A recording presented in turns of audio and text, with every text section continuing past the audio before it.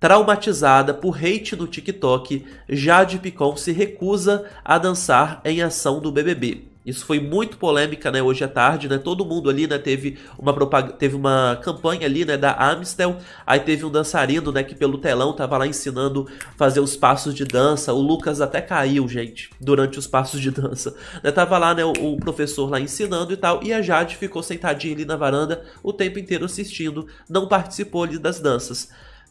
Isso foi muito vi mal visto, né? Algumas pessoas falando que era arrogância, outras pessoas defendendo. A Jade falando que ela é, foi por conta né, de, de, um trauma que ela tem, que ela sofreu muito hate, que ela dançou mal no TikTok. Eu vi o vídeo até, né? Eu recebi o vídeo agora à tarde desse desse suposto hate que ela teria sofrido, né, onde ela teria dançado mal. Eu achei um vídeo dançado mal. Eu achei um vídeo normal, ela dançando. Uma pessoa não achei que ela dançou mal, não achei nada demais, mas parece que muitas pessoas criticaram ela dançando daquela forma. Teve pessoas falando que é porque ela não queria se vincular a essa marca né, de cerveja, porque ela talvez tenha algum outro contrato, mas aí eu não acho que faz muito sentido, porque quando eles entram ali no BBB, né, eles o que pode acontecer é você não aceitar entrar no programa se lá tiver uma marca da qual você não pode se vincular. Agora, o, o Big Brother, eu acho que o Boninho não vai falar, beleza, se, é, já sabendo quem são os patrocinadores,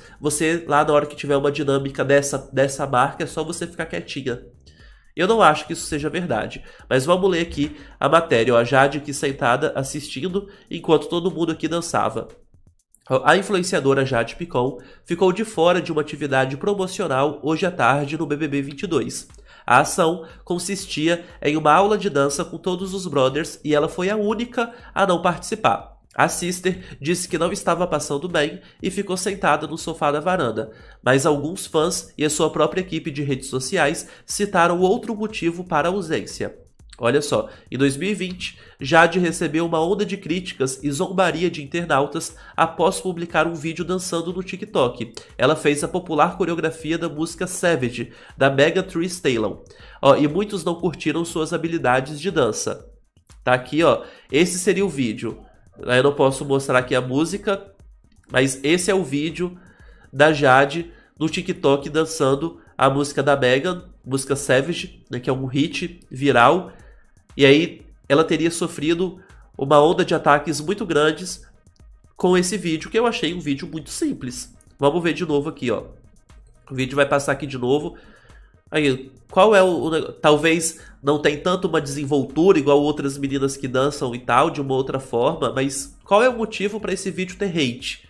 Eu não vejo, né? Na internet também tem pessoas que é, estão doidas aí para odiar. Né? São pessoas que elas, elas nasceram amargas, parece, né? Ó, na época, o nome da modelo foi parar nos assuntos mais comentados do, do Twitter e não por um bom motivo. Jade contou a história para os colegas de quarto no início do BBB.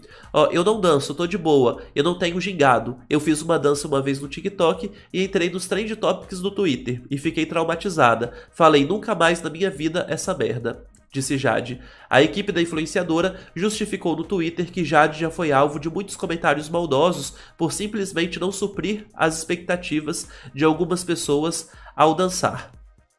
Tá então o posicionamento da equipe da Jade. O que, que vocês acham, gente? Foi arrogância? É o trauma? Faz sentido? Não faz sentido? Né? O que, que vocês acham disso tudo? Uh, a verdade é que ela é snob mesmo e se acha, disse Edna Balbino. Adalto, isso foi mentira, disse Célia Regina. O que, que foi mentira, Célia? O, a questão. O, o que exatamente? Que ela sofreu hate? Ó. Patricinha arrogante, mas a mina é gata, hein? Disse Vitor. Não, bonita pra caramba. Não é nem ódio, não. É inveja pura por beleza dessa garota, disse Elenir Stefaski. É, gente, na verdade, Cara, eu, eu paro pra pensar, na internet tem muita gente que tá querendo odiar, tá querendo detonar, tá querendo, sabe, de alguma coisa diminuir a conquista das pessoas. Então chega a menina lá. Primeiro que eu não achei nada demais, tá? É, a dança dela. Mas vamos lá, a menina, ela é nova, bonita e multimilionária. E aí algumas pessoas, elas se ofendem com isso. Algumas pessoas falam, nossa, ela é bonita, ela é rica, ela é famosa, ela é multimilionária e tal, tá empreendedora, tá fazendo um maior sucesso e tal. Tem pessoas que se incomodam, então o que, que a pessoa fala? Deixa eu ir lá pegar um vídeo dela que, opa, ela tá dançando, hum, Tem gente que dança melhor do que ela. Então eu vou pegar esse vídeo aqui dela dançando, então eu vou detonar. Entende? Tem gente que faz isso. É desse jeito. É uma maneira das pessoas se sentirem talvez um pouquinho mais confortáveis da sua insignificância. Entende? Eu percebo Gente, olha que eu não tenho um canal gigante, eu tenho um canal grande, 259 mil pessoas. Não é pouca coisa, a gente faz milhões de visualizações aqui todos os meses, né? Só que perante outros canais do YouTube eu sou pequeno, certo? Eu recebo hate. Às vezes, tem, às vezes, quando eu comemoro, eu tenho que comemorar as minhas conquistas. Eu tô aqui no canal, eu comemoro mesmo. Abatemos 4 milhões e 300 mil visualizações aqui durante o BBB. Eu comemoro. Toda vez que a gente consegue mil inscritos, né? Cada mil inscritos que a gente passa, eu comemoro lá no meu Instagram. Eu posto o.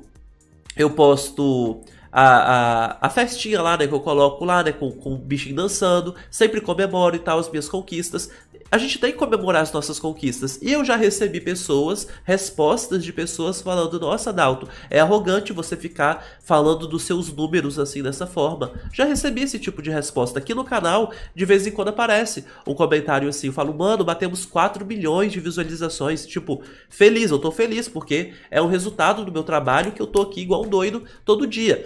E aí, de vez em quando eu já recebi. Nossa, Dalton, parece que você tá querendo esnobar. Não tô querendo esnobar. É você tal, é talvez a pessoa que tem aquela, aquele complexo de inferioridade, que não consegue ver o sucesso da outra, que ela se ofende. Porque se você estiver prosperando na sua parada, no seu trabalho, você comprar uma mansão, você comprar um carro, uma casa, fizer o que você quiser, a viagem dos seus sonhos, o que você quiser fazer, eu jamais vou chegar lá e falar, nossa, ele comprou um carro. Eu lembro do Whindersson quando o Whindersson comprou um carro importado e tal, o Whindersson que foi pobre de, de passar fome.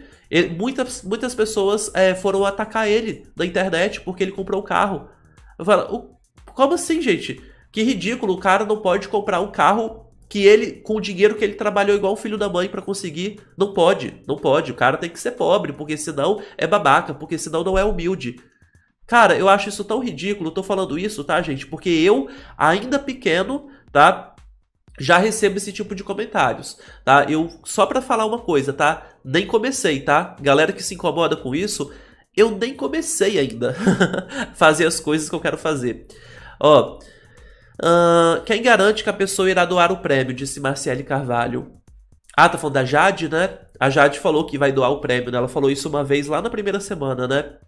Não dá, ninguém garante, né? Sim, gente, estou gripadinho. Estou aqui fazendo live gripadinho. E depois vão falar que foi sorte. é, tô aqui gripadinho fazendo a live. Bora se. Gente, olha isso. Três pessoas. Uma pessoa apenas. Seja você. Gente, olha que número maravilhoso, hein? Seja você que tá aí nessa live e não tá inscrito ainda no canal, o inscrito número 260 mil. Uma pessoa apenas pra gente chegar a 260 mil em menos de uma semana que a gente bateu 250, a gente está batendo 260. Os 300 mil é real, hein? Seja você que está aí, o inscrito número 260 agora.